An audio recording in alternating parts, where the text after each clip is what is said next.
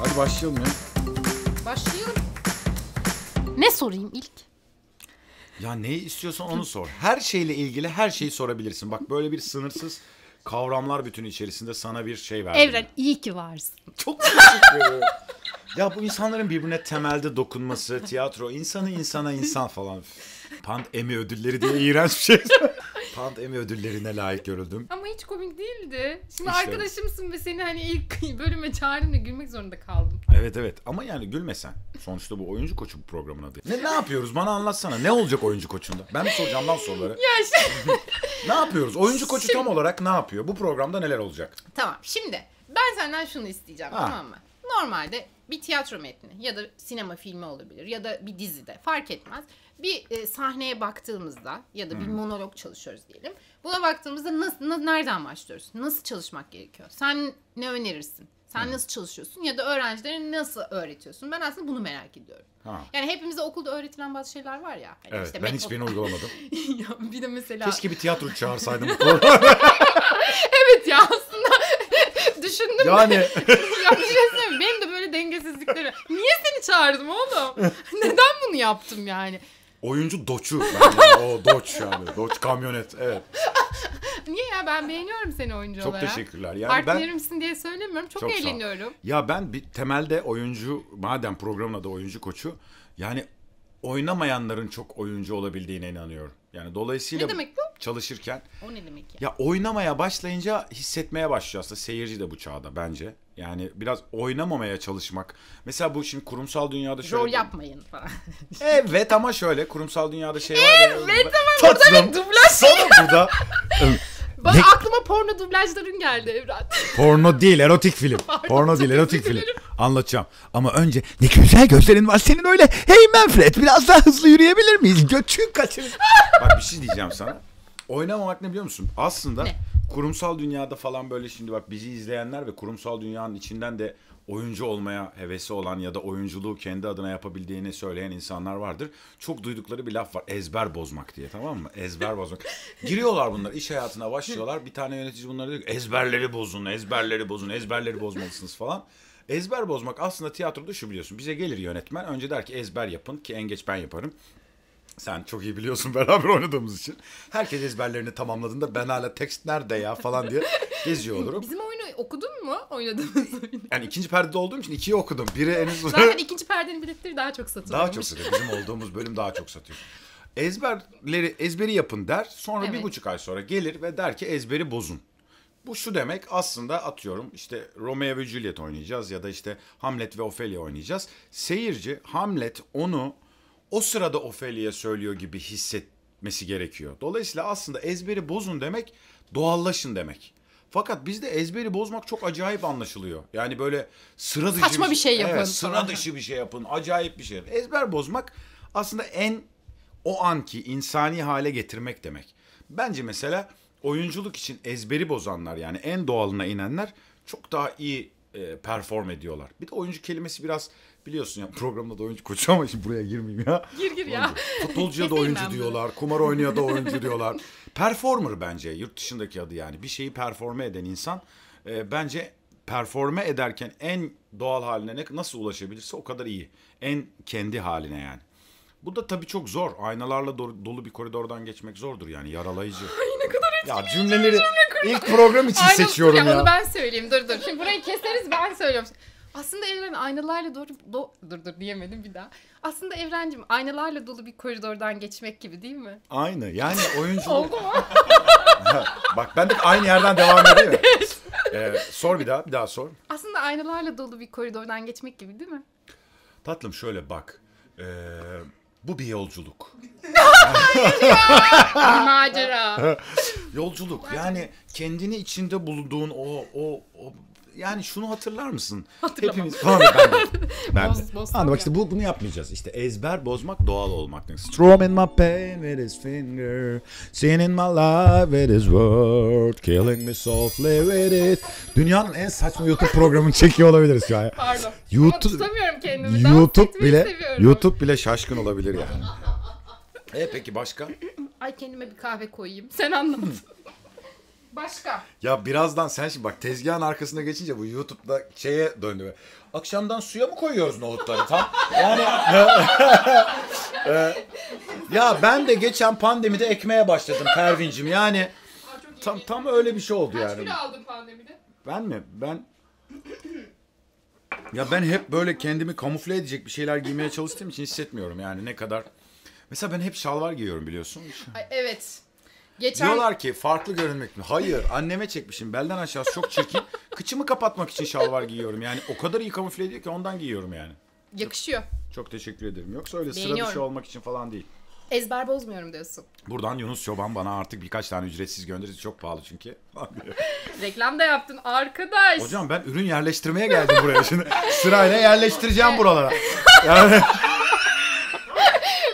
her yere bir şey yerleştirmeyi giderek, planım. giderek e, hata yaptığım fikrine daha da çok kapılmaya başladım. Abi Aslında ünlü- sen tüccarsın. İstersen ticaretten bahsedelim. Evet. E, bireysel emekliliğimi Enen Hayat ve Emeklilikten yapıyorum. E, bankacı falan diye.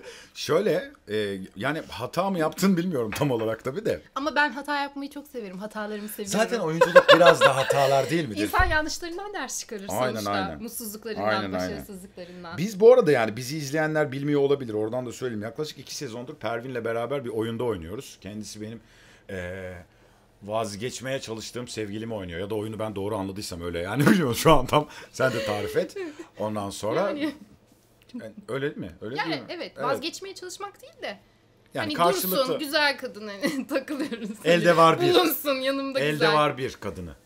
Evet beraber oynuyoruz. Çok da mutluyuz bu arada partner olarak yani. O yüzden beni seçmiş olabilir ilk şeye. e, ilk programı. Çok teşekkür ediyorum gerçekten bu arada iş bunlar bir tarafa. İlk programında umarım ilk program olduğunu görürüm yani. Evren o kadar beğenmedik ki bire koymadık. Yayınlayamadık. 13. bölümde arada kaynasın diye. Kusura bakma. Yayınlayamıyoruz. Artık şimdi söz vermeyeyim Evrenciğim. Ay öksürük hasta oldum herhalde ben öksürüyorum. Bak. Şu an tam dönemi yani bana karşı karşıya otururken hasta olduğunu söylemek yok için. test yap. Dizi, diziden dolayı her hafta test oluyorum. Bir şey yok yani iyiyim gayet iyiyim. Merak etme korkma. Evet en son Haldun Dorman de böyle dedi bana ben karşılaştım.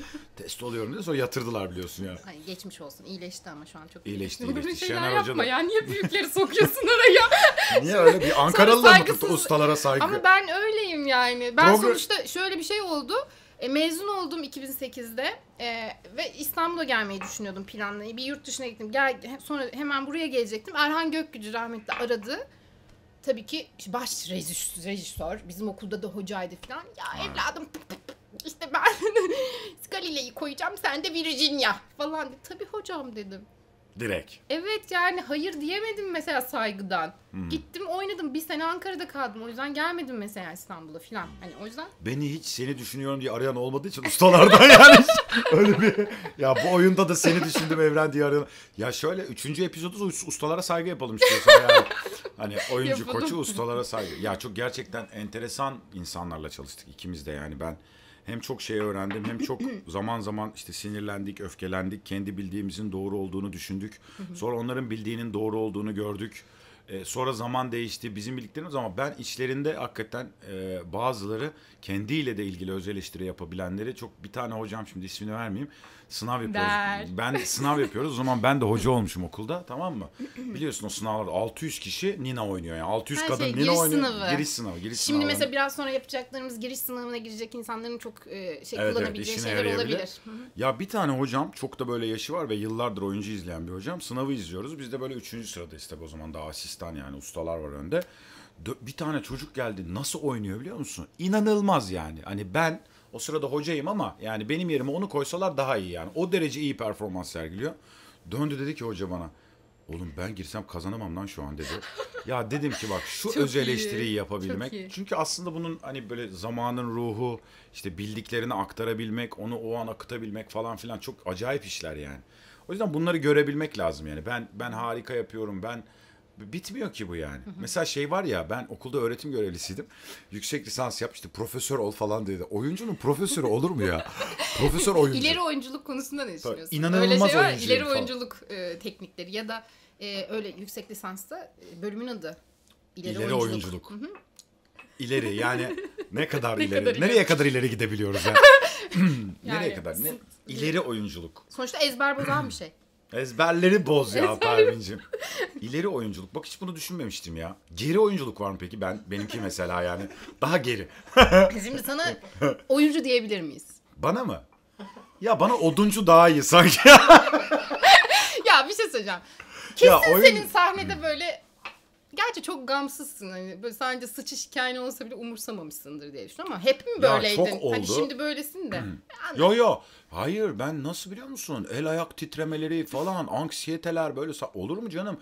Yani sonuçta ilk bu iş başladığında e, yani konservatuarı za- zaten tamamen tesadüfen kazandığım için yani tiyatro bölümü. Ya biz bu bir taraflarımızı yırttık girmek için. Nasıl Tesadüfen derken şöyle. Haksızlık bu ya. Tesadüfen derken şöyle herkesin benim gerçekten tiyatro bölümünü okumam gerektiğine dair bir yani fikri davranışlarımdan bir fikri vardı ama ya sınav işte dediler ki yani o kadar yıllardır hazırlananlar var ki ben sınav kapısına gittim.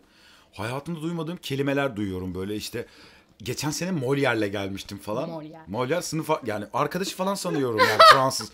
Çünkü o derece uzağım yani. Ben de o sene Atinalı Timon e, Hem de. Atinalı Timon zorunlu parçaydı. Ha, o yüzden. Ben de o yaz konservatuar sınavına girerim belki diye yani hani gir- gireceğim diye değil girerim belki diye e, bir otelde müzik yapıyorduk arkadaşlarımızla müzisyen olarak çalışıyorduk yazları para kazanıyorduk yani.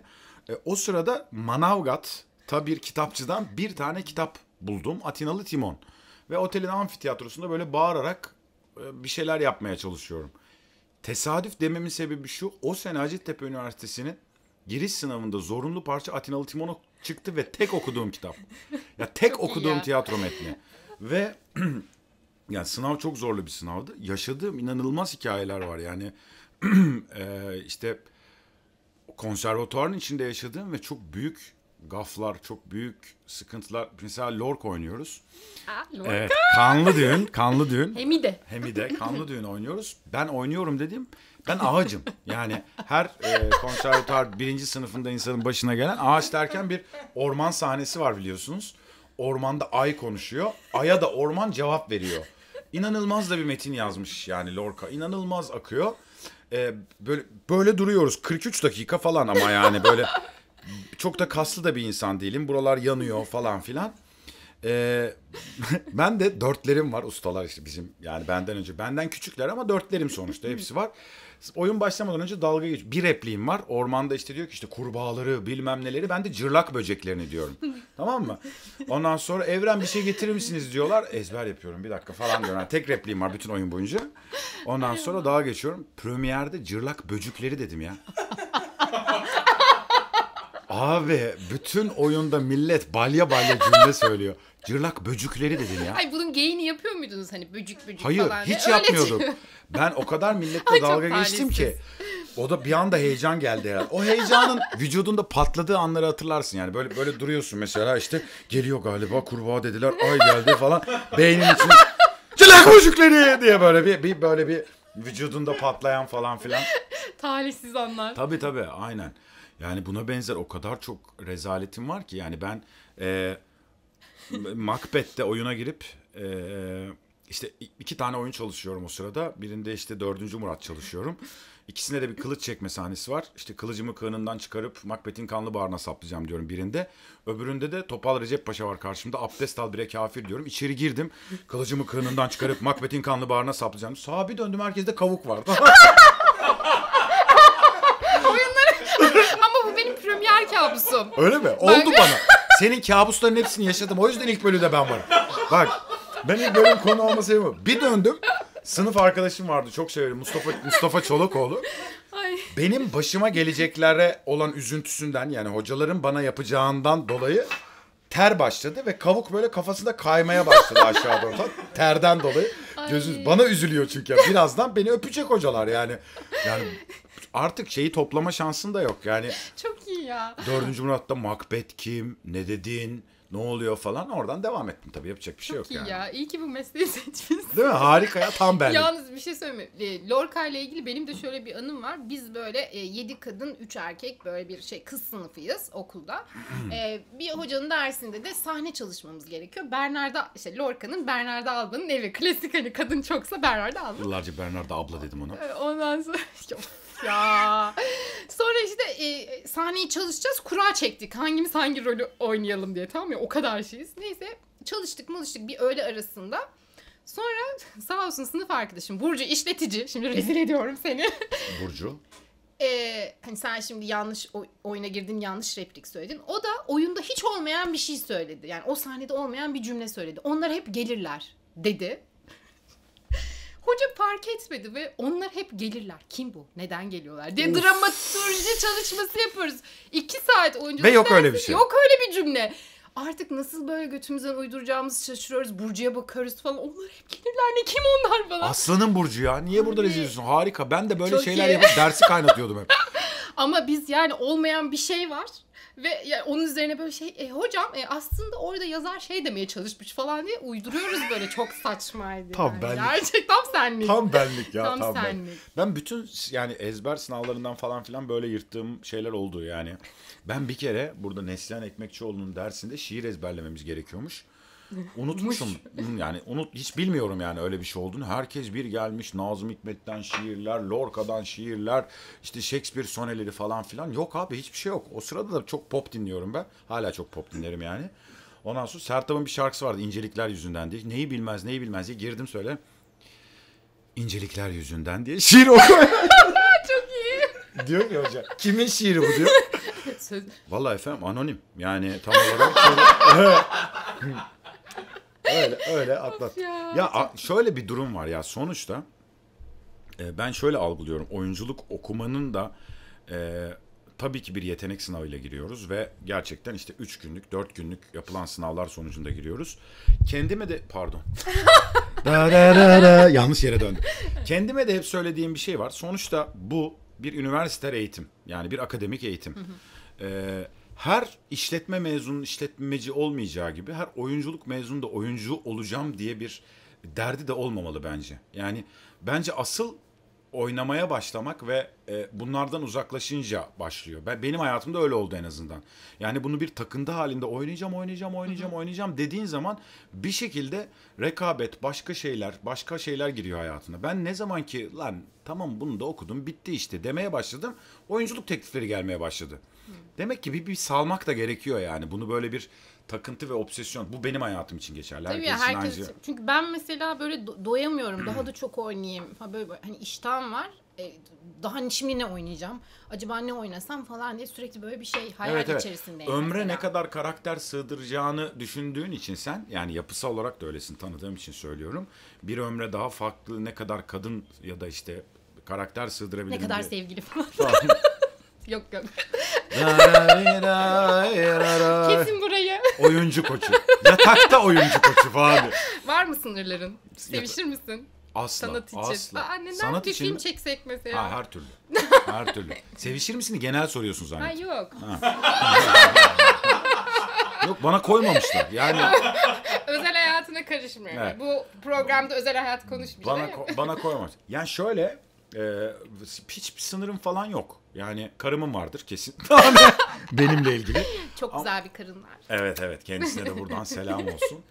Ee, şey öyle bir sınırlarım yok ama zaten e, bana da böyle hadi bu inanılmaz Hadi e, seviş. erotik sahnede e, soyun ve baklava dilimlerini görsünler. Tamam ama erotik Olmadığı için hiç- seslendiriyorsun. Nasıl oluyor? Bana biraz Ya çalıştırır erotik mısın? Mesela nasıl İstanbul'a erotik film İstanbul'a ilk geldiğimde o zaman dublajdan dublaja koşuyorum. Biraz para kazanmam lazım. İşte eşimle de evleneceğiz. para lazım. Ondan sonra bir gün İstanbul Stüdyo'da bir arkadaşım dublaj yönetmeni aradı dedi ki abi çok iyi bir iş var dedi. Kaşis de çok yüksek dedi. Gelin dedim hiç ne olduğu önemli değil. Hemen geliyorum dedim yani. Yani hiç fark etmez. Girdim geldim stüdyoya. Çok iyi. Ondan sonra yalnız dedi işte Dijitürk'ün dedi yeni kanalları var dedi. Erotik kanalları oraya seslendirme alıyoruz. Abi çünkü biz partnerimizle girmiyoruz biliyorsun. Ben kendi Tek tek. karakterimi alıyorum. çıkıyorum gidiyorum. Yani kim olduğu önemli değil ki. Ben kendi laflarımı alıp gireceğim. Yalnız dedi kanala yayın yetiştireceğiz. Stüdyoda yok dedi. Beraber alacağız dedi. tamam dedim. Zaten çok konuşma yok biliyorsun. Yani genelde genelde nidayla nida nida olduğu için genelde. Ondan sonra Bir şifresi zor olmamıştır Dedim ki herhalde. evet. Dedim ki e, tamam girelim alalım dedim yani. Abi bir girdim yani bir dönem hocalığımı da yapmış bir ustam. Benden çok yaşça büyük ama sesi Kadın çok mı? gençtir. Kadın yok erkek. Hayır. Intimacy. olabilir erotik. Olabilir Niye de yani intimacy de öyle o zaman yoktu Ha, o yoktu o zamanlar. zaman. Evet o zamanlar daha henüz yani LGBT'yi bu kadar savunacağımız bir şeye geçememiştik henüz. Yani bu 10-11 yıl önce oluyor. Ondan sonra e, girdim abi. Ya diyorum ki ulan ya hoca mı diyeceğim birazdan şimdi soy başlayacak orada maceralar falan filan. Abi elinde örgü var tamam mı? Torununa örgü örüyor. Sandalyeye oturduk. Çaylarımız geldi. Altın günü gibi. Bir tek mercimekli köftemiz eksik. Çok iyi. Kulaklıklar nasılsınız hocam? İyiyim yavrum sen nasılsın? o kadar rahat ki köseli olmuş artık yani. Bütün erotikleri mi o konuşuyordur nedir? Ondan sonra iyiyim yavrum işte ben de torunla falan filan dedi. Ondan sonra başladı. Bu akşam ne yapıyorsun? Gidiyor musun falan filan diyor işte ben. Tabii tabii biraz ah ah oh oh falan filan devam ediyoruz.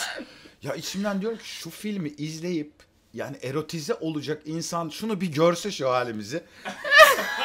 Kestik diyor. Hocam çay söyleyeyim mi size? Alır mısınız? sıfır libido. Yani sıfır libido o an yani. Bu arada Irina Palm filmi. Bunu hatırlatıyor Tinto bana. Brass ve Irina Palm. Bir kahve koysana ya. Ya nasıl bir konuk Ay pardon, ben ya? çok- Leş. Oyuncu koçu. Hazır gitmişken size bir şey söylemek istiyorum. Ee, benim kanalımın adı falan diye. Burada reklam çıkıyordu. Yeni bir ürün giydiriyorum. Kanalım yok arkadaşlar. Ya biraz sonra oyunculukla ilgili bir feedback verecek adam oluyor mu şimdi bak? Ama yani geçen gün oyunla... yani Hmm. işte ne yapacağım mecbur. ya Telefonum çaldı. İlber Ortaylı'nın çalıyor. İlber Ortaylı'nın programı çalıyor. Tam şöyle telefonum çaldı. senin de telefonun hiç susmaz. Ne provalarda Evet, ne kıstım. oyunlarda. Evet, susmaz çünkü. İş adamısın. ya iş adamı da değilim de işte iş yapmaya çalışıyorum yani. Öyle başka yani oyunculuk dışında da işlerle ilgileniyorum. Tekstil var bende. Aldindas diye bir markamız var eşofman. Aldindas. Daha çok Side'de, bazar denilen yerlerde satıyoruz falan. Lorca'yı sevme sebebim sanırım birincisi öldürülmeseydi daha neler yazacaktı. Milliyetçiler tarafından Evet, öldürüldü. e, kurşuna dizilmeseydi daha neler yapılacaktı, yapacaktı diye e, merakım var. İkincisi de ya Akdeniz kültürünün içindeki hikaye benim çok damarlarıma geliyor mesela işte e, şeyde de Kanlı Düğün'de de öyle. Çok bura, buradaki geleneksel toprak benziyor, değil mi? hikayesine ve bizim böyle damarlarımıza kadar hissettiğimiz şeye çok benziyor. Anlatım dili de çok benziyor. E, aslında e, ilk bu arada Lorca'nın ilk e, şeyi Kanlı Düğün dekorunu Dali tasarlıyor biliyorsun. Tasarımları var. Çok yakın arkadaşlar. Çok yakınlar. Arada daha e, değişik yakınlıkları da oluyor galiba. E, mesela sürrealist bir e, hayal kuruyorlar Lorca'yı yazarken ama hikaye o kadar çok şeyinde gidiyor ki yani toprağın üstünde gidiyor ki e, hem çalışmayı hem okumayı hem de Lorca'nın o böyle dokusu bir müzik duyuyorum mesela Lorca okurken. Yani böyle bayağı diye böyle E, bir- filmi, dans filmi. Aynen, aynen. Yani böyle o- Mükemmel. Etekleri böyle vuracakmışız gibi sesler duyuyorum. O yüzden çok geliyor. Bir dönemde e, ben Lorca'yı e, sahneye de koymuştum. E, Kanlı Düğünü. Kanlı Düğünü koyarken de Ekin Eti çok güzel müzikler yapmıştı ona. E, ona da buradan selam olsun. Var mı? Kaydı belki kullanırız. Var var atarım. Tamam. Savaş sahnesi Leonardo ve Güvey'in savaş sahnesi için böyle günlerce uğraşmıştık. O kadar özel bir ne müzik güzel. yapmıştık yani. Çünkü o savaş o an bence e, sadece iki tane bir kadının peşinden koşan adamın savaşı değil. Aynı zamanda bütün duyguların bir böyle suya döküldüğü bir yer yani. Öfke var, kıskançlık var, kapris var, Sohbetin ergenlik bu bölümü var çok güzel gençlik mı? var ondan sonra aynen. Tam böyle onun suya güzel. döküldüğü bir an. O yüzden de çok severim. Ee, bir yazar olarak da yani son dönem Amerikan yazarlarını da çok severim. Ama bir yazı, yazar olarak da Avrupa'da böyle en sevdiğim yazarlardan biridir Lorca. gerçekten. Aynen Lorca çok acayip bir adam bence. Bu tabii hep söylüyorum yani zevk herkese göre değişiyor. Başka oyunculara, başka yönetmenlere göre. Ben oynamayı da çok severim Lorca'yı. Ondan sonra e, öyle. Güzel. Biraz sonra deneyeceğiz bir şeyler. Konuşacağız üstüne daha Aynen. detaylı. Sen sever misin? Ben çok severim. Ben e, mezun olurken Bernard'da oynamıştık biz. Ha. Bernard'da'yı oynamıştım. E, okul yıllarında Yerma'yı da oynadım. Çok severim. Ben de çok severim. Yani Kanlı Düğünü oynamadım ama oynamayı çok isterim. Böyle bir şey e, böyle hani onun müzikali olsa ya da bir bileyim, Evet, dans efsane. performansı ile birlikte böyle Orada ama mesela ben sana şu an oynatacak olsam e, bugün gelini çalışacağız galiba değil mi? Evet onun üzerine. Ama Onun- tabii ben gelin artık oynayamıyor muyum? Yaşım mı büyüdü? Yok ama yani senin Karakter pro- olarak. sınav- senin por- proporsiyonuna koyuyor olsam çok iyi bir anneyi oynatırdım sana. Yani e, oraya çalışırdım seninle. Gelini e, erkek yapardı falan diye Ezberleri bozardım. ezberleri bozuk. Ama şey Daha bu- ne kadar bu- saçma. Bu söylediğin şey çok önemli. Yani doğru kas çok önemli değil mi? Yani biz oyuncuyuz her şeyi oynayabiliriz tabii ki. E, tiyatroda biraz daha böyle şey aslında. Daha esnek. E, Bak- ama televizyon ya da işte sinema filmlerini düşünecek olsa kast e, çok çok önemli Çok önemli. oluyor. Bu konuda şöyle bir şey düşünüyorum ben. Bizde maalesef bazı yanlış algılar var yani bir mesela audition'la ilgili ya da oynamakla ilgili, seçilip seçilmemekle ilgili. Ee, cast dediğin şey oyuncunun yeteğin, yeteneğine göre tespit edilen bir şey değil. Role uygunluğa bakar. Yani Kevin Spacey'nin ben girip alamadığı çok audition biliyorum. Yani Boş yere tribe girmeyelim yani. Audition'a girip e, Abi, alamıyorsak. Yani Türkiye'de tabii audition'da yurt dışındaki gibi gerçek değil. imkanlar sağlanarak yapılmıyor biliyorsun. Bir tane asistan elinde böyle bir handicam'le evet şimdi söylüyorsunuz falan diye yapıyor ama Karşı yurt- taraf oyun evet veremiyor falan. yurt dışında bu gerçek alanlar kuruluyor ve gerçek alanlarda oyuncular deneniyor ama kimse audition'ı e, veremediği için üzülmüyor çünkü o o role bir dolu parametreye, müziğe, karşındaki partnere, ona buna uygunluğu ölçüyor. Yani oyuncu çok iyi oyuncu olabilir, uygun olmayabilir. Olabilir yani. Bu bunları yani ben mesela hiç seçilmediğim için böyle bir savunma mekanizması fark uygun değilim diye galiba ya. Kas direktörleri kötü. Evet, yok yok uygun uygunluğa bakıyor bence o işi. Bu arada çok yapmak istediğim bir oyun var. Tek kişilik bir oyun var. İnşallah bu sene onu yapacağım. Yani e, Bahsettiğin oyun. Söylemeyelim değil mi? evet söylemeyelim. Bir erkek oynayacak sen değil. Biliyorum. Ama hani benimle de iki kişilik bir oyun yapmak isterdim Evet ya. seninle de yapmayı çok istiyorum ama e, çok sevdiğim bir şey var. E, metin var. Yani bir psikiyatrın metni. E, Viktor Frankl'ın İnsanın Anlam Arayışı. E, çok önemli bir metin olduğunu düşünüyorum. Onu oyunlaştırdım ben geçen sene. E, Merakla bekliyorum. Evet evet tek kişilik yani insanın her şartta anlam bulabilmesiyle ilgili bir hikaye. İnşallah yaparız ya. Ya Tek yapar. kişilik olduğu için kolay. En kötü kendim oynarım falan. Dijitale yapalım Tabii, onu. en Satarız. kötü. En kötüsü En ama ben. En kötü kendim oynarım. En kötü ben oynuyorum yani daha kötüsü yok. İyi hadi şimdi o zaman biraz ara verelim. Şu şeye geçelim. Neye? Ee, Biraz e, Lorca çalışalım biraz ya. Tabii ki, Lorca'dan tatlım. bahsedelim. Sen böyle Hemen. şiirsel şiirsel konuş. Aynen aynen. Bizi etkile. Hadi Ee, hadi. o zaman. O evet bu zaman arada geçiyorum. eldivenlerimi göstermek istiyorum. Anne. Seni seviyorum. Ben de merdivenlerimi göstermek istiyorum. Abone Pervin'in- olun. Abone Pervin'in olmayı unutmayın. annesine selam olsun. Mi?